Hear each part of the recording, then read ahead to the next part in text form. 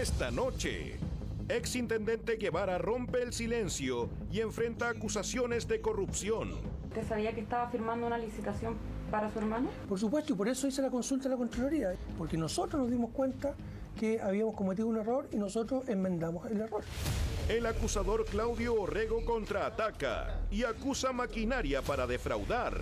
Descubrimos páginas web de 18 millones de pesos, 200 millones de Zumba, 150 millones de Spinning, salvo que aquí venga un, no sé, una Jennifer López, acepte la clase, sobreprecio por donde se le mire. No entiendo cuál es el objetivo de Orrego en, en este sentido. Seguramente eh, eh, establecer una cortina de humo para ocultar lo que realmente todos sabemos, que en seis meses de gestión no se ha hecho absolutamente nada.